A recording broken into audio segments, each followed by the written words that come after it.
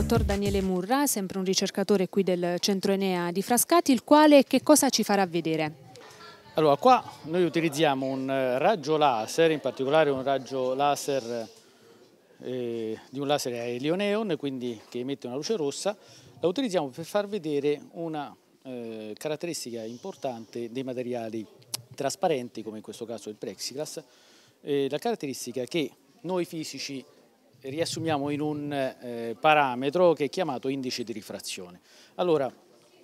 il raggio laser parte da questa sorgente laser, cammina, non lo vediamo perché qua non c'è nulla, siamo in aria, quindi non c'è nulla che lo rimanda verso i nostri occhi nemmeno verso la telecamera, però una volta che entra in questo cubo di plexiglass, questo cubo fa sì che la luce viene diffusa anche verso la telecamera e quindi anche gli spettatori riescono a vedere effettivamente il laser che passa. Ora cosa accade qua dentro? Non accade semplicemente il fatto per cui la luce che inizialmente sta andando in questa linea retta va anche verso la telecamera accade, accade anche che la velocità della luce cambia, in particolare rallenta. Rallenta perché questo eh, materiale ha quel, quello che definivo prima, indice di rifrazione diverso da 1, in particolare maggiore di 1 ed è maggiore quindi di quello dell'aria. Allora, il fatto che la luce rallenti diciamo, a noi non,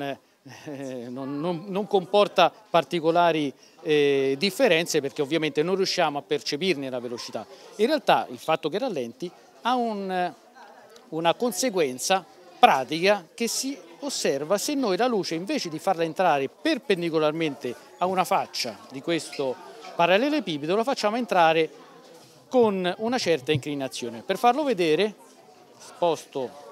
il parallelepipedo e lo inclino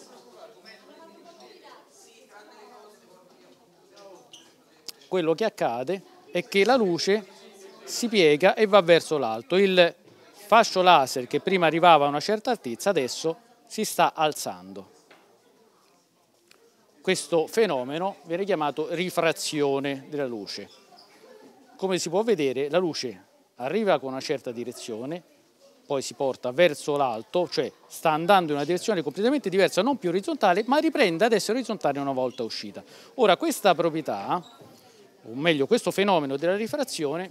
è la base sostanzialmente del funzionamento di tutte le ottiche, di tutte le apparecchiature che funzionano con le ottiche, quindi parliamo di occhiali, parliamo di occhio, parliamo di macchina fotografica, parliamo di telescopio, di, di cannocchiale e così via e anche di un oggetto tecnologicamente molto eh, conosciuto ormai che è la fibra ottica.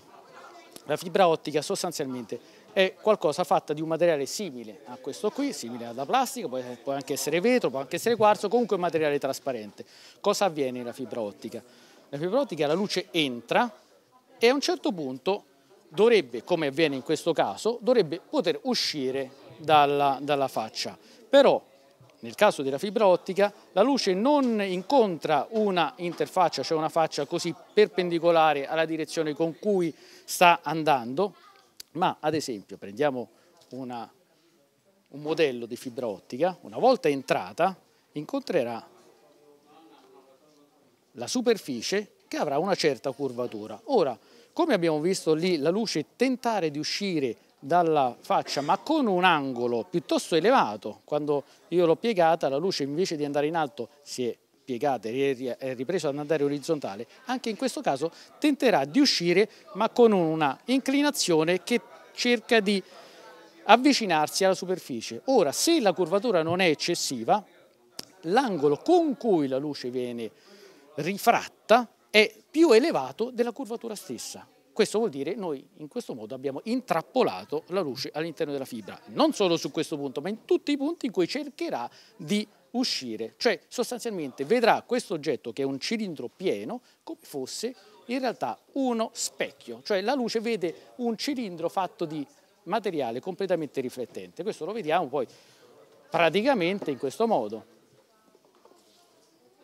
Una delle estremità della fibra la avvicino alla sorgente laser e vedremo la luce uscire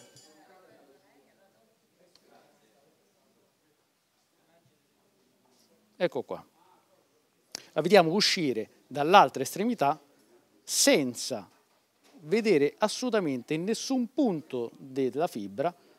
la luce rossa. Per noi la fibra continua a essere completamente trasparente in ogni suo punto, tranne che all'interfaccia in cui entra e l'interfaccia in cui esce.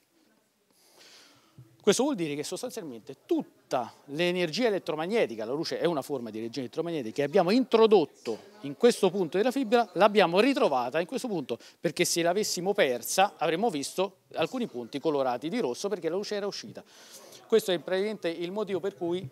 vengono utilizzate le fibre ottiche nelle telecomunicazioni perché quando parliamo di telecomunicazioni parliamo sempre di energia elettromagnetica, la luce, ripeto, come dicevo prima, è una forma di energia elettromagnetica, quindi in una fibra ottica, questa è di un paio di metri, ma in una fibra che potrebbe anche essere di 500 metri, un chilometro, tutta l'energia che inviamo all'inizio la ritroviamo alla fine, la dispersione, o meglio la perdita di energia è molto bassa e quindi il loro utilizzo nelle telecomunicazioni è eh, molto elevato e soprattutto negli ultimi tempi sta avendo un notevole sviluppo.